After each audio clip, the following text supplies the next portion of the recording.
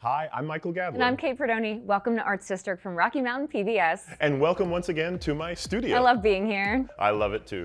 Do you ever think of everyday furniture as being works of art? Woodworking students from around the world are drawn to the Anderson Ranch Arts Center in Snowmass Village. This creative space hosts a variety of classes where folks can explore their curiosity and push their skills. Arts District's Ram Shearer brings us this story.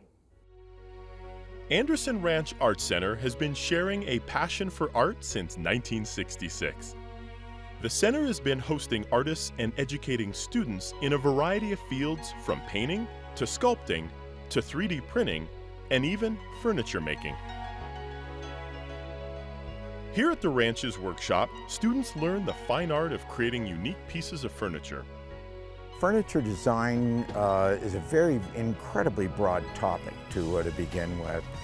You know, on one end there's high style design um, manufactured around the world, and then another direction is more sort of uh, furniture as part of artistic expression. And that's is sort of the uh, area that we're working with here at the, uh, at the ranch. This class is an intermediate to an advanced class. The students are uh, coming in with a, you know, sort of a reasonable set of skills.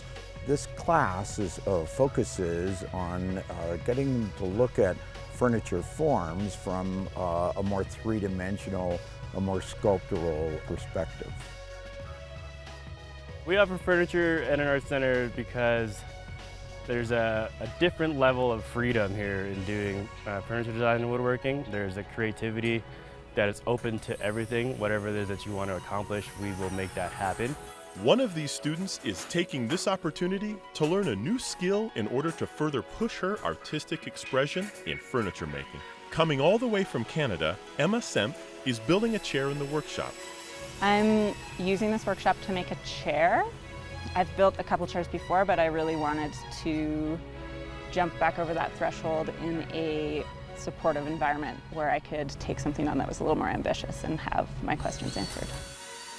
The main benefit that I have um, gotten out of this workshop was to do some more steam bending. Michael Fortune specializes. He's very well known for curvature, for steam bending, and for chairs, and so that was my motivation for taking a course with him. So a lot of people in our class have been incorporating steam bending into their projects, and I think I've done four bends this week.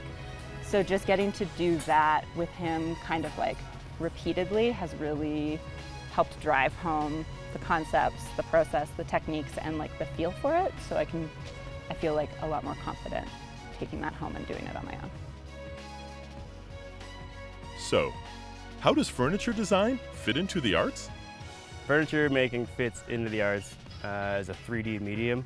You know, when you start machining a board down, you start discovering uh, the wood grain, and then from there you you kind of have this freedom to create and, and move parts around. I think that furniture fits into the arts in a really interesting way because it is often seen as a bit outside in like a functional arts or studio, like fine studio craft way, but it has, I think, like a lot of interesting content to offer. There's so much potential for doing really sculptural stuff or for kind of questioning like your personal space and how you interact with sculpture every day or what is function.